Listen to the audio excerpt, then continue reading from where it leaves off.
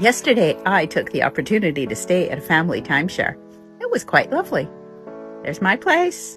There's the hot tub. It was open till 10 p.m.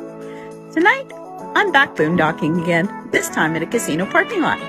But I do have a front row seats for the sunset.